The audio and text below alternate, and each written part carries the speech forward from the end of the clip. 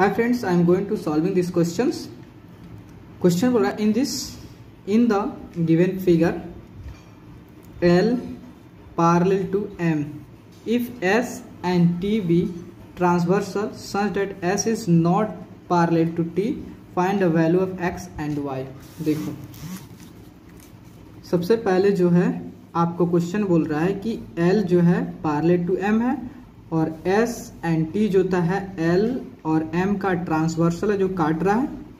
लेकिन जो था आपका S जो है नॉट पार्लेट टू T है। नहीं पार्लेट देखो ये कैसे कट कर इंटरसेक्ट कर, मिल रहा है कहीं जाके। तो ये पार्लेट नहीं है। देन नहीं पार्लेट है, आपको X और Y की वैल्यू निकालना है, ठीक है? X और Y की वैल्यू निकालने से पहले आप सोच लो, किसे मान लो सपोज़ एंगल वन मान लो, ठीक है? एंगल वन और इससे आप जो है, इसे मान लो कितना? एंगल वाइन मतलब इसे मान लो, आप एंगल टू मान लो। क्योंकि इजी वही नहीं मानो तो नहीं निकल पाएगा बाबू। इसे सब मानना पड़ेगा, ठीक है? तो देखो एंगल वन इसे मान लो। तो देखो, आपको देखो angle one plus angle fifty equal to कितना होता? है वन एटी डिग्री होता। है किसके अकॉर्डिंग लीनियर पेयर के अकॉर्डिंग लीनियर पेयर के अकॉर्डिंग जो था, अगर कोई लाइन कट करता है और एक स्ट्रेट लाइन पे जो एंगल बनता है, हमेशा देखो स्ट्रेट लाइन है, आपका स्ट्रेट लाइन है और स्ट्रेट लाइन पे जो एंगल बनता है वन एटी डिग्री बनता है। याद रखिएगा हमेशा।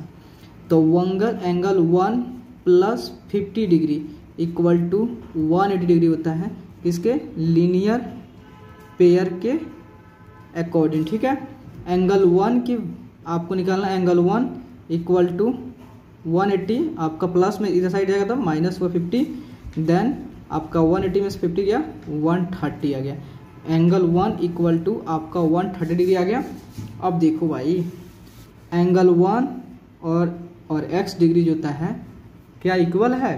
किसके according corresponding angle one equal to angle X जो होता है इक्वल था किसे? कॉरस्पेंडिंग है। इसलिए मैंने इसे एंगल वन माना है।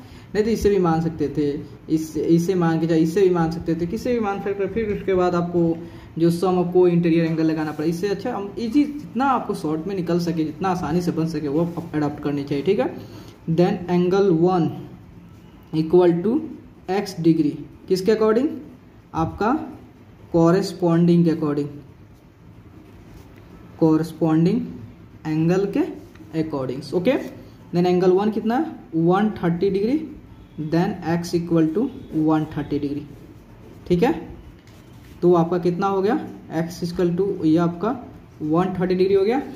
देन अब चलते हैं आपको एंगल वाई की वैल्यू को फाइंड आउट करना। तो देखो, सबसे पहले क्या करो कि एंगल वाई को तो देखो, यहाँ पे भी 65 है और एंगल 2 है।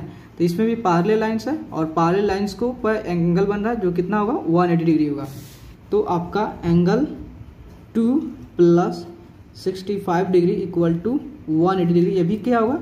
लीनियर पेयर के अकॉर्डिंग ठीक है? Then angle two equal to कितना होगा? वन एट्टी माइनस अब सिक्सटी फाइव करोगे, कितना होगा? वन हंड्रेड फिफ्टीन आएगा, ठीक है? मतलब angle two equal to one hundred fifteen देखो, आपने एंगल टू इससे माना था तो जो आपको वन हंड्रेड फिफ्टीन आ गया। दम देखो एंगल जिसे माने थे आप angle one equal to angle X हुआ, वैसे ही angle two equal to angle Y किसके अकॉर्डिंग कॉरस्पेंडिंग के अकॉर्डिंग ठीक है? Then angle two equal to angle Y equal to कितना आपका हो गया? एंगल टू कितना? 150 डिग्री किसके अकॉर्डिंग कॉरेस्पॉन्डिंग के अकॉर्डिंग देन आपका angle Y equal to 150 degree और आपका एक्स कितना है? One hundred one hundred thirty degree होता है एक्स, ठीक है? प्लीज़ दोस्तों, अगर आपको वीडियो अच्छा लगे और आपके लिए हेल्पफुल है तो प्लीज़ चैनल को लाइक एंड सब्सक्राइब प्लीज़ ज़रूर करें, क्योंकि आपका लाइक और सब्सक्राइब बहुत मैटर करता है दोस्तों, ओके, थैंक यू।